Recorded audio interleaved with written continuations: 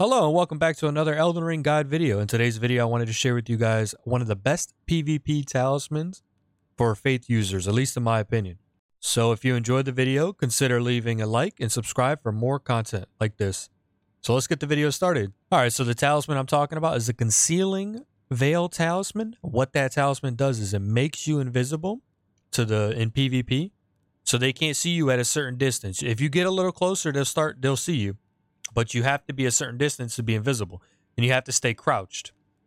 If you stand up, it breaks the invisibility. If you remove the talisman, it breaks it. Anything offensive, like you know, you do a spell or a weapon art, or you you know you drink a thing, it'll it'll reveal you. So what makes this talisman so good is if you pair it with long range spells, and you can sneak up on your enemy in PvP, especially the frenzied burst. If you hit them with the frenzy burst and your faith in a faith build, and you have the frenzy talisman, use this frenzy flame seal, you can instantly put them in the frenzy state, which allows you to get another shot off, which, you know, nine times out of 10 is going to one shot them or kill them. So I wanted to share with you guys how to get this talisman. So you're going to go to the Sage's Cave. It's going to be in the Altus Plateau in this exact area right here. From the abandoned coffin, you're just going to run north along through the water until you go right here, and there's going to be the Sage's Cave. And now in the Sage's Cave, you're going to go through, proceed through the whole thing until the end boss. It's going to be a little invisible wall. Now, ignore that. You're just going to proceed through. You're going to want to hit this invisible wall to your right. You know, loot these chests if you want. Get a lost Ash of War. You get a stab in your back, get two stabs in your back. You're going to keep going, loot these items. Give me another invisible wall. Bunch of chests in this room. All right, in these chests are silver pickled fowl foot. Now, quick tip with these skeleton guys when you down them the first time, if you don't gain any runes for killing them, just make sure you double tap them and you'll gain your runes. You get the black hood, Candle tree wooden shield. And a butterfly. Pick this item up. You're just going to proceed through the cave.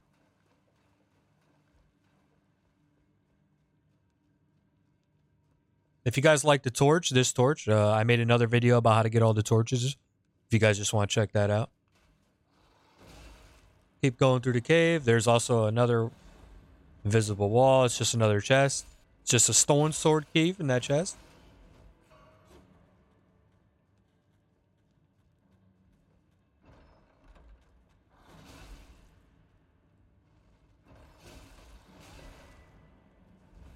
And in those two chests, you get dragon wounds grease and raptor talons. You're gonna, gonna jump across right here. Preferably not while getting smacked.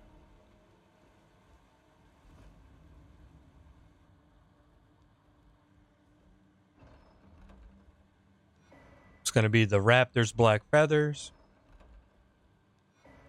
Skeletal Mask. Another invisible wall. And right here is the boss. And you're going to fight the Necromancer.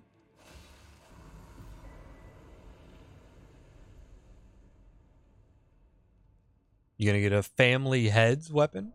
All right, after you beat that boss, you're just going to come back up out of the way you came do not go through the exit portal. Going to jump across the waterfall again. Keep going down. And here you're going to see another fog wall. And this is the one where you get the talisman. Behind here is going to be a black knife assassin. Just kill this boss. It's going to be invisible.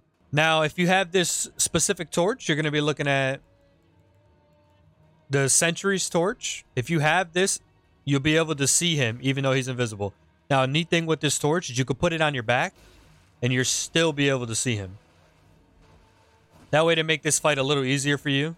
So you don't have to, you know, look at the floor and stuff like that. You could just beat him like this, like normal.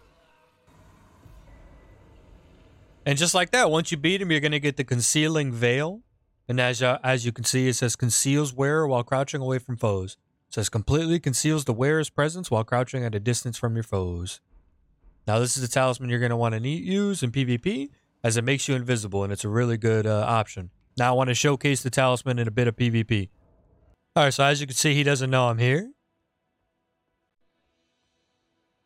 He does not know where I am.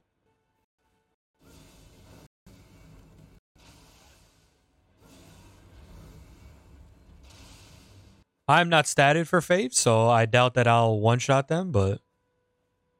See, so right now he doesn't know where I am. I'm going to try to get behind this bush.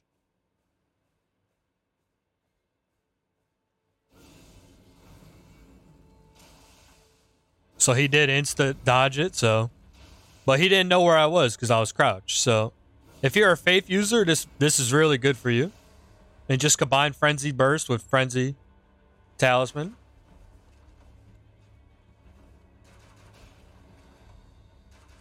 Alright, so I showcased it enough in PvP. Like I said, I'm not statted for Faith. Well, hopefully you uh, Faith users you know, like this video and are able to use this to its full ability. It's really cool that you have like a stealth mechanics. I know other Dark Souls did too, but I just like the long range kind of snipes. It uh switches up the meta a little bit from the, you know, bleeds that bleeds and moon veils and all that fun stuff, you know. So I hope you guys enjoyed the video. Please leave a like, leave a comment down below. Let me know what you guys think. And uh, don't forget to subscribe for more content. Uh, I'll see you guys in the next one. Bye bye.